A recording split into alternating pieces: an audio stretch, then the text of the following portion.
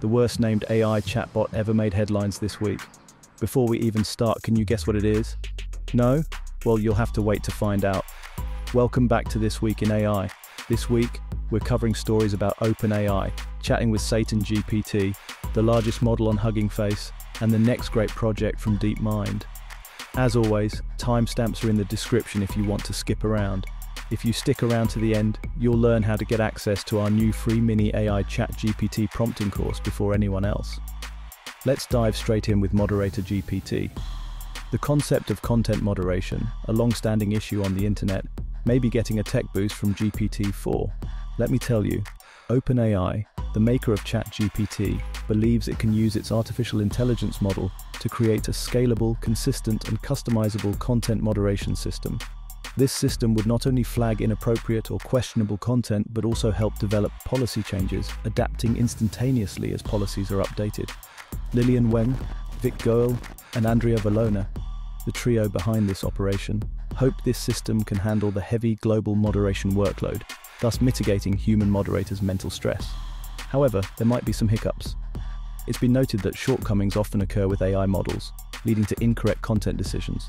So, while taking steps to lessen the burden on human reviewers, OpenAI believes humans should still play a part in validating and refining AI judgments. They want to ensure a careful blend of technology and human oversight. So, will GPT-4 streamline the moderation process while maintaining accuracy? And what could this mean for the future of content moderation? Fancy a chat with Jesus, or maybe even Satan? Well, in this strange world of ours, you can, thanks to an AI powered app called Text with Jesus. It's geared towards those individuals eager to deepen their connection with biblical figures. Even better, you can text a whole host of characters like Mary, Joseph, Peter, and Matthew. But wait, there's a twist.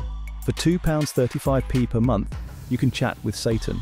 Now, I know what you're thinking, how does that work? The app uses its language model to generate responses based on a wide range of religious and biblical texts. The developers stressed, however, this tool isn't divine, just a means to encourage meaningful conversations about faith. The Insider team quizzed AI Satan on a variety of topics and got some interesting responses. They found it to be arguably off character, but then again, who knows what game Satan is playing? Would you pay to talk to Satan? Let us know in the comments below. Well, here's a bit of techno wizardry to get your head around. IBM, that titan of tech, has joined forces with none other than NASA and open source AI platform, Hugging Face. So what's the big deal? Well, it's literally huge. They've made IBM's Geospatial Foundation model, a platform built from NASA's satellite data accessible for everyone on Hugging Face. And this isn't just any model, mind. It's the largest of its kind on Hugging Face. Sriram Raghavan, Vice President of IBM Research AI, remarked that this move will leverage collaboration to create faster and more impactful solutions that will improve our planet. But if you're now wondering about the model itself, it was trained on harmonized Landsat Sentinel-2 satellite data and has shown a 15% improvement over current techniques using half the amount of labeled data. With this model, we can monitor environmental issues like deforestation, predict crop yields, and even keep an eye on greenhouse gases. IBM researchers and those from NASA are also working with Clark University to adapt the model for even more uses. Open sourcing this model paves the way for many researchers or scientists to explore the data and make their own discoveries. Well, now we have the MyoSuite platform, developed by Meta AI and a bunch of universities, which is making strides in the world of robotics by using AI to learn human-like movements. Their latest project uses simulated body parts that babble and fiddle with objects like toddlers, exploring how they work.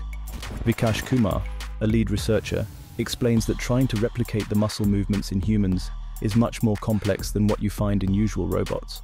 Mark Zuckerberg stated that this could help create more realistic avatars for the metaverse. The project was kickstarted by Meta AI's fundamental AI research branch, showing potential beyond just scientific research. Just last year, Meta hosted the MyoChallenge 2022, a competition testing the AI's ability to manipulate objects. But it was clear they were not great at generalizing, this prompted the Meta team to try to teach the AI to learn how to maneuver a range of items using their simulated arms and legs. The researchers found that the AI picked up object handling much faster by allowing it to experiment in the same way a toddler would. Working on this technology, there's a potential need to provide the AI with more complex physiological models to control. So, could a machine ever truly understand the world like a human child? Well, now it seems like we're entering a new AI chat era with the introduction of Janitor AI Pro, arguably the worst named AI tech we've ever heard. This horribly named AI is shaking up the digital world, but it isn't just another chat platform. This one's got a twist. Janitor AI Pro is the most popular and fastest growing not safe for work AI chatbot out there, drawing in a whopping 1 million users in just 11 days. The Janitor app, nope, still not a better name, stands apart from the crowd by providing a space for unrestricted, not safe for work chats. A stark contrast to the constrained platforms we're used to. The whipped cream on top? This platform isn't just about chatting, it's about crafting your own unique experience.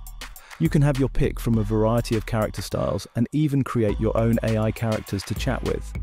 Your wildest fantasies are literally at your fingertips. So, with all this considered, one begins to wonder, because the name is literally the worst, why did they go for a profession that cleans for a living when the chat naturally will most certainly not be? Big ruling this week, according to a US court. Art made by artificial intelligence, also known as AI, can't be copyrighted. US District Judge Beryl Howell made it crystal clear that only creations with a human touch can have copyright. This decision mops up the appeals by computer scientist Stephen Thaler, who'd been knocking on copyright's door for a work of art created by DABUS, a system of his own invention. Despite his best efforts, rights to creations made by AI have been a bit like slippery soap for Mr. Thaler, difficult to hold on to. Thaler's attorney, Ryan Abbott, didn't mince his words when he said they don't quite see eye to eye with the ruling, and an appeal is on the cards. What's interesting is how all this has stirred up questions about the cogs and gears of copyright law in an evolving tech world. If machines kickstart the next art revolution, where does this leave us in the copyright quagmire? What will Hollywood do with its plan to replace writers and actors with AI-generated content? Well now, here's a twist to our digital age. DeepMind, the AI division of Google, has unveiled its project on a very human-like tool, a personal life coach.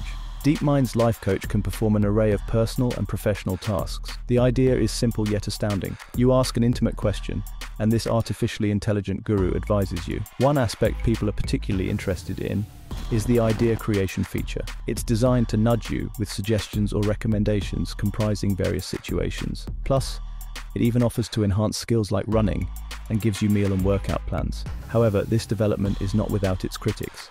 Dr. Christian Guttmann, a top AI scientist from Pegasystems, highlights the ethical concerns over chatbots.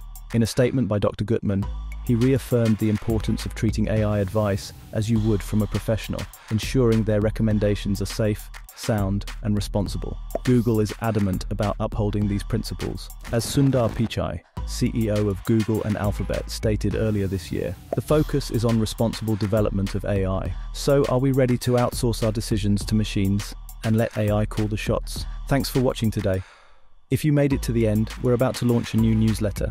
The weekly newsletter will cover all the new and exciting things happening in AI and highlight the latest tools and plugins we hear about.